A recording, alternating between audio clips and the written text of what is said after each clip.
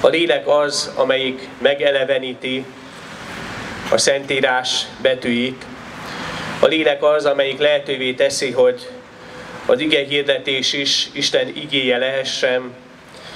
A lélek az, mely valóságossá teszi a szentségben, a szent jegyeken keresztül Isten jelenlétét és az Istennel való közösség megélését.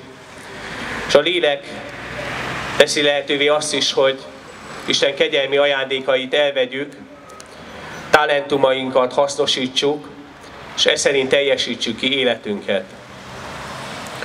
A kereszt felhívja mindannyiunk figyelmét arra, hogy milyen ára volt ennek, és milyen ára van ennek, tér és idő felett, Isten örökkévaló végzése szerint. Örök igaz Isten, áldja meg és őrizze meg Nagykanizsa, Zala megye és a Kárpát-medence Istenben bízó magyar népét.